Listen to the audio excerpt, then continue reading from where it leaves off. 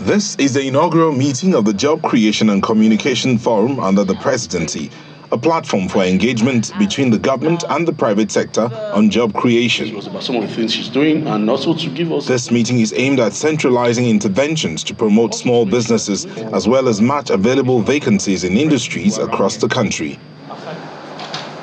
The Senior Special Assistant to the President on Job Creation and MSMEs is facilitating this meeting and explains what the government plans to do to create more jobs. We are on track to realistically deliver a hundred thousand measurable jobs by May 29th. So we are not talking of um, jobs that um, no one can measure. I use those words very carefully. A hundred thousand realistic, sustainable jobs by May 29th in the in this space. And this cuts across a lot of states, cuts across almost 20 states. According to a study by the National Bureau of Statistics, there are 41.5 million MSMEs in Nigeria, employing almost 60 million people. These businesses constitute around 46.31% of the GDP and about 96% of the total businesses in Nigeria. The government hopes to leverage on this for economic prosperity. For the government in Nigeria to truly tame the challenges that we're facing, which is a global challenge, we must prioritize support to small businesses.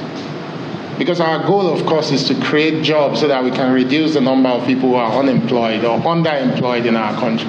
And we know that the only set of businesses that can do that for us are small businesses.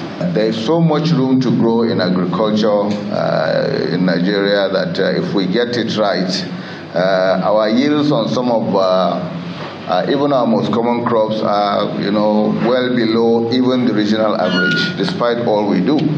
And technology is the fastest way to uh, actually uh, uh, get some uh, precision into agriculture so that we can increase our output and also encourage the younger generation to participate.